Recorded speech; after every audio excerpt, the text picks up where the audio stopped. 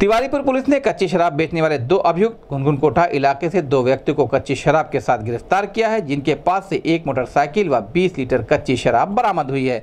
गिरफ़्तार दोनों युवक नाव से अपमिश्रित शराब को लेकर बेचने का काम करते थे। तिवारीपुर थाना क्षेत्र के गुनगुन कोटा के रहने वाले शत्रुघ्न केवट नाम के व्यक्ति ने तिवारीपुर पुलिस को लिखित सूचना देते हुए बताया कि उसके गाँव के रविंद्र निषाद, दिनेश कुमार और जय हिंद अपमिश्रित शराब बेचने का काम करते हैं। शत्रुघ्न द्वारा जब उनका विरोध किया गया तो अभियुक्त गढ़ ने उसको जमकर मारा पीटा और जान से मारने की धमकी भी दी।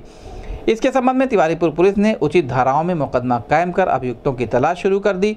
30 मई को मुखबिर द्वारा मिली सूचना के आधार पर घुनघुन कोठा के पास कालेश्वर जाने वाली नई सड़क से वांछित अभियुक्तों को थानाध्यक्ष तिवारीपुर सत्यप्रकाश सिंह, सब इंस्पेक्टर धर्मेंद्र कुमार सिंह, सब inspector Shamsher Ahmad sub inspector Pushpen Dwivedi, constable Ashutosh Srivastava, constable Vipin व कांस्टेबल सुभाष चंद ने कच्ची शराब और मोटरसाइकिल के साथ गिरफ़्तार किया। इस संबंध में गोरखपुर न्यूज़ से बात करते हुए सीओ कोतवाली, बीपी सिंह ने कहा।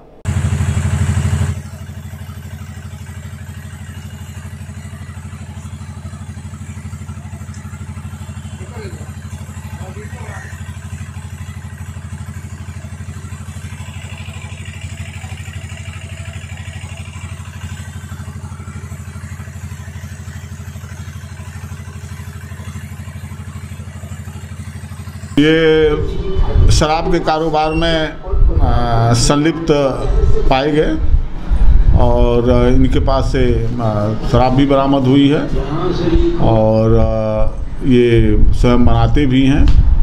तो इस तरह की सूचना मिली थी। पुलिस ने जो है इनको पकड़ा है इसके पहले एक व्यक्ति से मारपीट भी किए थे। उसका भी मुकदमा कायम था, उसमें भी वांछित थे और गिरफ़्तार करके जेल भेजा गया।